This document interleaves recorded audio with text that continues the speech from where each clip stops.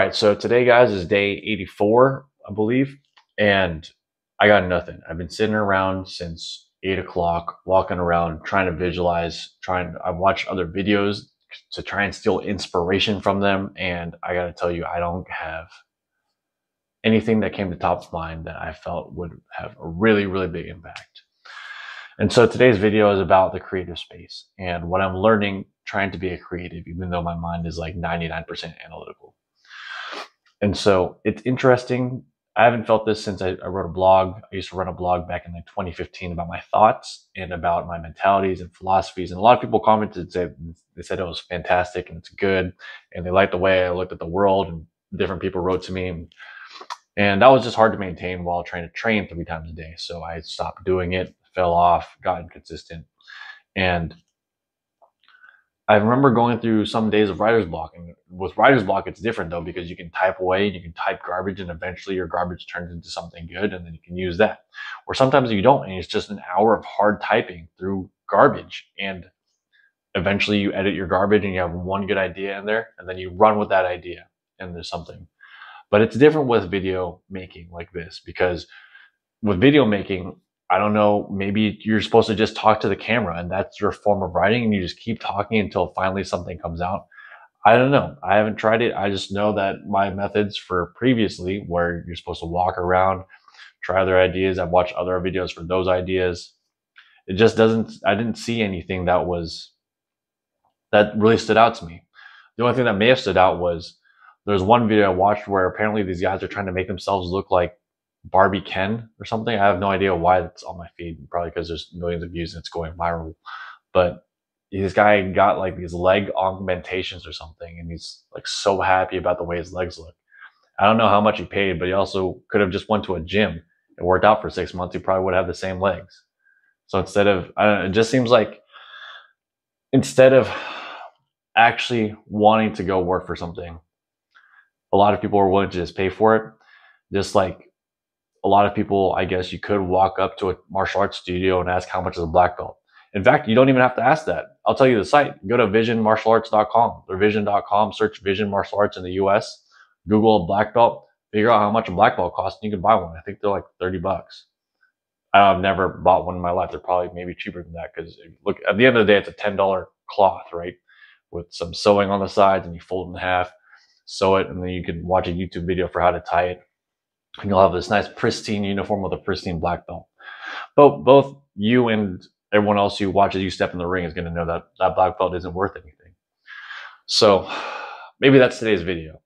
Maybe it's today's video is that in the world today where everything is instant, the reason it's so important to work hard for something, the reason it's so important to work for something like this 100 day challenge, maybe the reason why it's so important to still do martial arts is because everything is at our fingertips, especially here in the Western world. Everything today is at our fingertips. If we want to go grocery shopping, I don't even have to go pick my groceries. I can have them ready at Safeway when I go over there or Amazon. We can order stuff to come here. I don't have to go anywhere. There's not even work for food. And then I guess apparently now people are, are getting implants for muscles.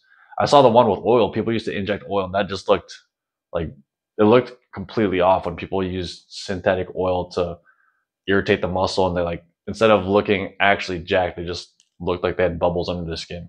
It was really gross. And then there's another one. Yeah, there's this one with the implants. It's just like, dude, if you just work for six months, not only would you have saved thousands of dollars, you'd look normal and you'd have strong legs instead of legs that look like they're strong. So I don't have a really point today for today's video, guys. It's really just sometimes there are days like this on your grind especially if you're trying to do something. There's days where just the ideas may not come, but you still got to find a way to better yourself. You still have to find a way to put down some kind of effort for today. Today, besides this, I read, I journaled, I got on a call with someone who can help my fashion because I'm trying to upgrade my style and make sure that the way I look and I think and I think about the world is present in the way that I show myself to the world. That sounds like a weird philosophy, and it might be for some people, but as I get older, what you'll notice is that there are a lot of entrepreneurs who dress a certain way for a certain reason. So if you look at Alex Hormozi, his whole thing, besides giving away a lot of tips for uh, money and for business is he started with gyms. His whole life has just been gym and lifting. And so he dresses like a lifter because that's essentially who he's talking to. He's talking to gym owners. Was his that was his core audience.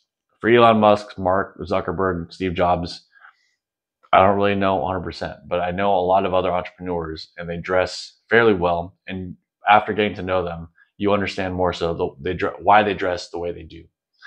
So that's something I'm trying to make sure is that like is the way I'm dressing showing what my personality is like because there are different things you can communicate with that. So that's just something for you guys to consider. I guess beyond that, for those of you who are still watching, I appreciate you guys staying with me on this journey. Hopefully, something comes to mind tomorrow. I had a little bit of an idea of what maybe today's video could be about, but I didn't think it was strong enough to share or really worth sharing. So today's video is just that. It's just that there are times like today where there's supposed to be struggle. And it's pushing through the struggle, I think, that makes you harden your or crystallize your vision to the goal. And it's a step in the daily habits to just make sure that every day you take a step to your goal, no matter what it is, whether that's reading more books, whether that's being more accountable to your family and your friends, whether that's having a better relationship to your child. Every day, take one step forward. Do something to take one step forward, even if it's difficult, even if it's not super inspired, even if you're not fully motivated. Take that step. And to be honest, I think that's today's video, guys. I gotta sleep. I gotta wake up tomorrow. Appreciate you guys staying with me. See you all tomorrow.